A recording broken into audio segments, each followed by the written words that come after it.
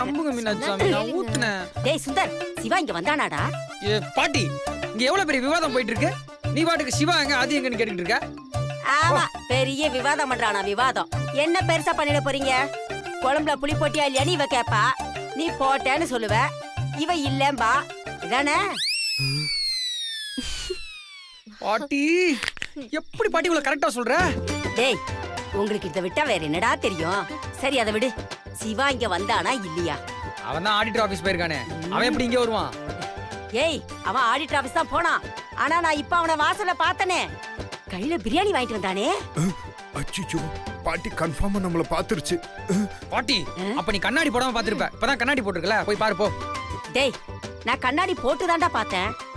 சரி விடு நானே போய் பாத்துக்கிறேன் இந்த பக்கம் தான் வருது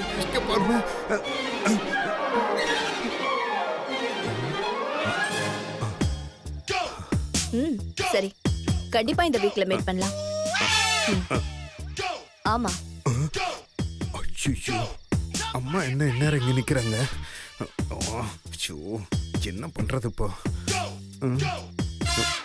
பரவாயில்ல. அம்மா ஃபோன் பேசினதுக்கு அப்புறம் உள்ள போக வேண்டியதுதான். அப்படியா? எனக்கு ஒண்ணு சொல்லலையே.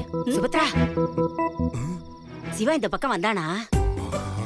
கிளவி வாய்ஸ் மறுபடியும் கேக்குது. கன்ஃபார்ம் இது வேற சும்மா விடாத. பிரியாணிக்காக காத்துட்டு இருக்கு இப்போ மட்டும் கண்ணில் பட்டோம் அவ்வளோதான் நம்மள லெக் பீஸ் ஆக்கிடும். இதுகிட்ட இருந்து எப்படி தப்பிக்கிறது? ஏமா நான் உன்னத்தமா கேக்குறேன் சொல்லுமா. ஒரு நிமிஷம் இருங்க.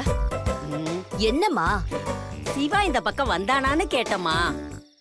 அவன் தான் ஆடிட்டர் ஆபீஸ் போயிருக்கானேமா அவன் எப்படி இங்க வருவான்? எப்ப பார்த்தாலும் இல்லாத ஒண்ணு தேடுறதே உன் வேலையா போச்சு. பேசாம போமா ஆ சொல்லுங்க. ஆமா ஆமா. அம்மா வேற போயிட்டாங்க. பாட்டி இங்க வந்தாலும் வந்துடும் ஆ?